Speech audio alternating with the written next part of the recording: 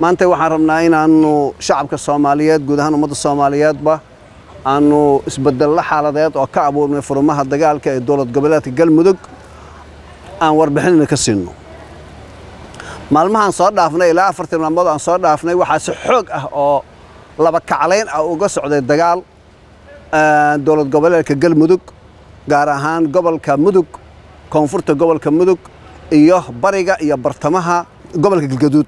Gobolka galgaduud haddaan u leexanno gobolka galgaduud ciidanka xoogga dalka soomaaliya dagaalkaasna waxaa hogaaminayey waxaa ku jiray ciidanka ciidamada qalabka sida waxaana hogaaminayay ciidanka xoogga dalka soomaaliyeed daraawiishta dowlad goboleedyada iyo ciidanka difaaca shacabka. Saddexdaas ciidan oo ciidamada qalabka sida ciidanka difaaca shacabka iyo daraawiishta yaa dowlad goboleedyada markaas laga halkaa laga dagaalamayo ama dowlad goboleedka laga dagaalamayo dowlad daraawiishtiisa yaa howlgalkaas waday. Deegaanada galgaduud oo ciidanka cadowga gacanta looga dhigay lana sii eryanayo waxaa ka mid a meesha la yihahda ceel la helay. Ceel la helay waa deegaan aad u ballaaran oo tuulo ah oo deegaan oo dadku degan yahay oo goobo ganacsi leh oo dhulbeereedyo leh oo dhulxoolaad leh oo deegaan hooweyn oo la yaqaano oo muddo dheer soo jirtay marka aan in leenahay masalan ceel la helay dadku waxay qiyaasayaan magaalo ma aha. Deegaankaa lagu dagaalamayaa nimankan qorshahoodu magaalo la arko mana joogaan magaalo. Dhulka kaymaha hawdka hay galeen ciidamaduna waxay kula faltamayeen ilaashale kula dagaalamayeen dhulka kaymaha magaalada ku wareegsan waana laga saaray. Firxadkoodiina wuxuu u fakaday u aaday waqooyiga gobolka galgaduud halkaasoo insha allah aan rajaynayno ciidamada dhanka koonfurta mudug ka dagaalamaya inay halkaas isku helaan iyo ciidanka baacsan ee dhexdooda hadda ku jiraan in halkaas lagu gumaadaan insha allah rajaynayna isla shalayto waxaa gacanta cadowga khawaarijta laga saaray. Deegaanka la yidhaahdo dhabanna dhulku hays.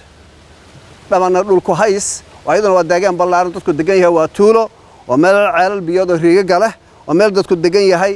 Waxayna wayna ka carareen dhulka u dhow oo dhirdheer hawdka hay galeen ayadana waa laga saaray waana la daba socdaa. Isla shalay daraataan leh daraato waxaa ayagana laga saaray ciidamada calowga tuulada la yidhaahda laba dulle dul af soomaaliga soomaalida waxaa loo yaqaanaa dhulka hawdka ah oo hoosna dhagaxa ka ah dul la yidhaahdaa oo geedaha adaga waaweyn ay ka baxaan. Laba dul bay leedahay meeshaas oo ah laba deegaan oo hoos dhagax ka ah dhuldhagaxeed ah. Korkana dhulka kaymana ah oo dhirleeya labadaas meeloodna waa laga saaray waxaa laga qabsaday dhul ceelbiyoodahoo dhowaan dadka shacabka ah ayagoo ay riig saarteen ay xoolahada ku waraabsanayeen oo ayagoo ay isticmaalayeen oo ay ka cabayeen waa laga eryey oo laba dul deegaanka u dhow iyo dushaas agteeda dhulkayna u dhow oo laba mucaskar ay ka samaysteen. Mucaskar waxaa weeyaan waa xerada ciidanka lagu tababaray dhibowga weeye mucaskaraadkaasna maanta waxaa jooga ciidankeenna halkaasaana waxay u tahay bar hogaamin ee ciidanka ciidamada qalabka sida iyo ciidamada kale difaaca shacabka iyo daraawiishta ee howlgalka ku jira. Intaas haddaan kaga soo intii intii howlgalladu ilaa afartan maalmood shanta maalmood hadda aan soo dhaafnay intii ugu badnayd baa isu soo dhiibtay. Dhal laba labo hal hal saddex saddex yaa dadka u imaanaya. Sababtoo ah waxay u badan yihiin dadkii deegaanka u dhashay ciidamaduna waa deegaanka dadka gaar ahaan ciidanka iisheeg difaaca shacabku waa deegaanka iyo daraawiishtu ayagii baa nin walba ninkuu yaqaana ee ehelkiisa iyo qaraabo iyo la ahaa telefoon u soo dirsanaya hal hal laba laba ay u soo dusayaan.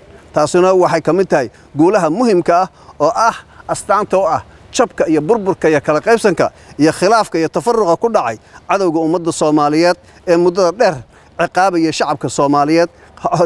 Hor taagnaana inaan lugahayaga ku istaagno qarannimada iyo dowladnimada iyo cizigeedii si buuxa u soo marka aan isla galgaduud markaannu ka sii hadlayno degmada ceelbuur iyo degmada wabxo deegaanka wabxo waxaa u dhexeeya dhul hawd ah ama dhul kayn ah hadbu qofo si u yaqaano ayagana shalay dagaal baa ka dhacay waxayna u farxadeen dhanka waqooyiga galgaduud.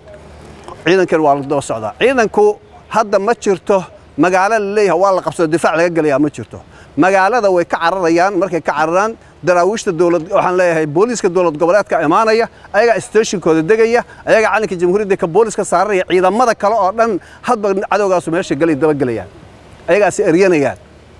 Ka ahayd magaalaa la fadhiisanaya waa dhammaatay. Wax magaalada joogaya male madax tegaysa ma leh.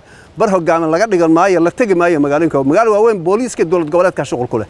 Ciidanku waxay eryanayaan hadba cadowgaasu meesha uu galo. Ilaa midka ugu dambeeya ama la dilo ama uu isdhiibo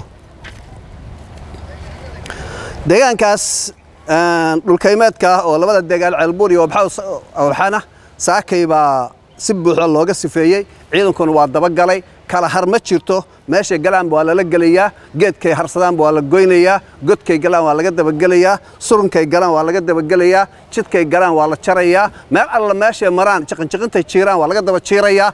Ma laga harayo ilaa iyo dhimasho iyo gacantoo lagu dhigo. Cadowna waxaa la yidhaahdaa waxaad ka adkaataa markaad ama gacanta ku dhigto ama aad disho haddii kale kamaada adkaan maada ka guulaysan magaalaha qabsaday iyo waa fadhiisanaya iyo waxaas. Waa laga baxay hadda qorshahaas taatikadaas waa la bedelay koonfurta gobolka mudug isagana waxaa ka socday howlgal afartii maalmood aan soo dhaafnay. Deegaano badan oo muhiim ah oo ayagu ay joogeen magaalooyin ayagu ciidankeennu joogay laakiin dhulka baadiyaha ku wareegsan ayagu ay joogeen baa laga sifeeyey. Deegaanmagaas waxaa ka mid ah hadda cadowga laga saxeeya bacaadweyn bacaadweyn ciidankaa joogay dowlad goboleedka daraawiishta dowlad goboleedka iyo ciidanka difaaca shacabka iyo cutubyo ka tirsan ciidanka xoogga dalka soomaaliyeed baa joogay. Laakiin waxay joogeen meelo aan ka toban kilomitr toban kilomitr jirtay joogeen iyagana shalay baa deegaanadii lagu filayey oo dhan oo la soo sahmiyey oo sahanku uu soo xaqiijiyey dhammaantood waa laga saaray. Waxaa kaloo laga saaray bacadweyn meesha la yidhahdo shabeellow shabeellow deegaanka la yidhaahdo oo iyadana koonfurta gobolka mudug ah oo ay ku dhuumaalaysanayeen oo ceel biyood leh oo deegaan shacabku degan yahay isla shalat waa laga saaray. Isla shalayto waxaa laga saaray qaycad meesha la yidhaahdo oo deegaan aad iyo aad muhiim u ah oo hadda ka hor ay maxkamad ay dadka ku layn jireen oo maxkamad uga dhisnayd waa laga saaray. Camaara camaara ciidankaa jooga laakiin deegaanka ku wareegsan bay joogeen oo dhulka awdka ay joogeen iyagana waa lagula dagaalamay. Meeshii ay u carareen oo aadeen baa laga daba raadsaday. Maaha meeshii laga saaray in ciidan joogayo ma aha meeshu u orday baa loola daba ordaya godkuu galaa lala gelayaa godkuu galaa lala gelayaa. Dhimasho iyo gacantoo lagu dhigo insha allahu tacaala. Labadaas midkood yaa cadowga ku dambayn doonaa. Guulahaas isdaba joogga ahaa se dhowrkii maalmood aan soo dhaafnay ka dhacay galmudug howlgalkeena si xoog badan oo iscanaanasho is-abaabul iyo diyaargarow xoog badan ayuu socdaa oo aan dowlad goboleedka iyo ciidanka dowladda federaalka iyo ciidamada noocyadoodoo dhan ay ka wada howlgaleen buu ku socdaa si fiican iyo qorshe habaysan taktika hagaagsanna uu ku socdaa. Insha allahu tacaala wixii isbeddel xaaladeeda iyo wixii isbeddelka guulaha la gaaraya iyo annaga ayna soo socodsiin doonna waxaan rajaynayaa insha allahu tacaala inaan mar dhow gobolka la yidhahda galmudug inaan ka waayi doonno khawaarijta al-shabaab oo mid dhintay mid la qabtay iyo mid soo dhiiba ay noqdaan. Insha allahu tacaala wabilaahi towfiiq guul shacabka soomaaliyeed